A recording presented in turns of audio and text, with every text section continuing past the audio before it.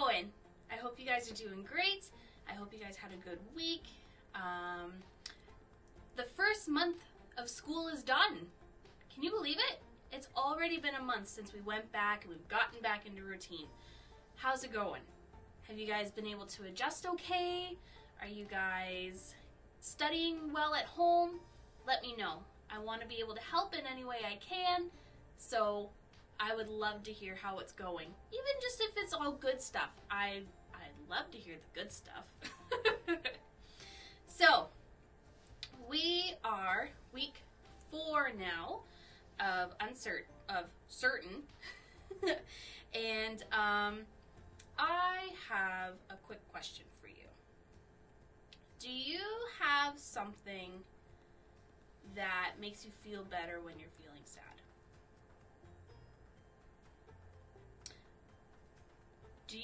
what the word comfort means?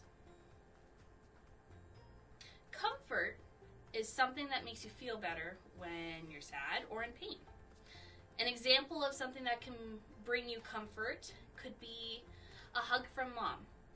Um, it could be a kiss on a sore finger. Or it could be your favorite stuffed animal.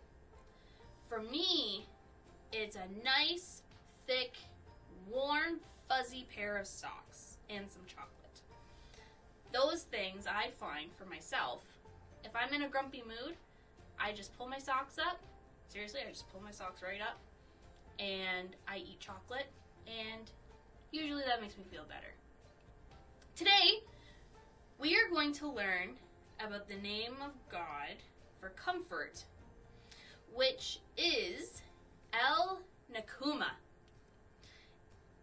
Now, I'm going to show you a picture. Can you tell me who these two are? If you guessed Timon and Pumbaa, you are right. Now, can you think of a very well known phrase that these two say? They are they actually sing a song about it too. Hakuna Matata. It means no worries. So, Hakuna Matata, El Nakuma, they almost kind of they sound kind of similar. But think of it too, their meanings are similar too. The God of comfort and no worries. Comfort helps ease negative feelings. Letting go of your worries lets go of negative feelings. Ooh. So think of that. Think of that for a second. We're going to actually read a little bit in the Bible today, and we're going to turn all the way to Second Corinthians. We're going to go to the first chap- the first chapter of Second Corinthians. And we're only going to look at two verses. Uh, we're going to look at verses 3 and 4. And it says this All praise to God, the Father of our Lord Jesus Christ. God is our merciful Father and the source of all comfort. He comforts us in all of our troubles so that we can comfort others. When we are troubled, we will be able to give them the same comfort God has given us. Isn't that cool? Because Jesus can comfort us through anything, He allows us and gives us the strength and the compassion and the empathy to be able to give comfort to other people too. So, just like mom giving you a kiss on a sore finger, she's bringing comfort to you. If you have a friend that hurts their knee and they fall, you can go and help them up and you can go and help them get to a teacher if you're at school or or things like that. You can help bring comfort to people. But Jesus is the best comforter ever. So, a little bit of background about where this verse comes from. In Corinthians, the person who wrote this book was Paul. And boy, oh boy, is Paul the person to be talking about comfort? Because let me tell you a little bit about Paul. Paul has known everything but uncomfortable. Okay? This man has been to jail many times because he was trying to do good things and the people didn't like it. He's been shipwrecked. He has been beaten and abused by a lot of people. He's been so hurt. He's been homeless.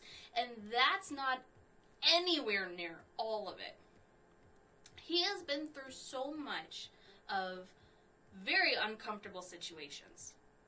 But yet, he can still praise Jesus for comforting him through it all. And in every single hard and painful time that he's been through. I know I don't think I'll ever experience as much hardship as he has, but yet he can still sit here and write and believe that Jesus is going to help him through it. Wow! That just blows my mind. I know for myself, sometimes when I feel really bad and I get really sad and I get really grumpy, sometimes it seems like nothing is going to make me feel better. Well, this is me thinking that maybe it's not the fuzzy socks and chocolate I need to make me feel better. But maybe instead, I need to remember that Jesus is going to comfort me far more than chocolate is. This may be a good reminder for us today, knowing that El Nakuma takes care of us. We've read before that Jesus is the great shepherd and he takes care of our every need. Remember that verse? Same goes with this. He takes care of everything. Hakuna Matata. No worries because Jesus has got this. Isn't that cool?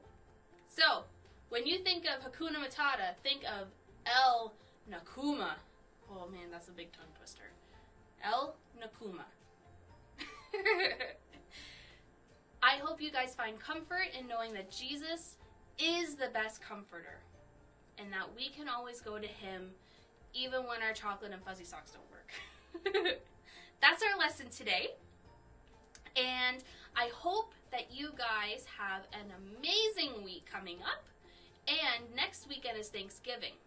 We're still going to keep going with this series, but I want you to think of maybe what we could be talking about. Hmm. so I'm going to pray with you guys real quick, and then that'll be it for this week. And then we're going to actually hear from Pastor Renee today about what she has to say about El Nakuma. Okay, so let's close our eyes and we'll get ready for her lesson coming up. Okay, here we go. Dear God, I thank you so much for being the best and biggest comfort ever.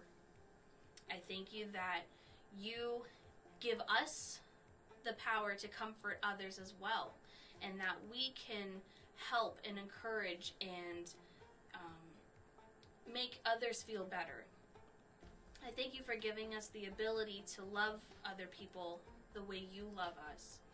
And I thank you that we are able to still be able to learn so much about you and that we can still get together like this. And um, I just pray that you keep all of our friends safe this week as they go to school or as they go to appointments and as they go out shopping or whatever it may be. I just pray that you keep them safe and healthy. And I pray that um, you guide us and you be with us in everything that we do. And we pray this together in Jesus' name. Amen. All right, everyone. Thanks for joining, and I can't wait to see you again next week.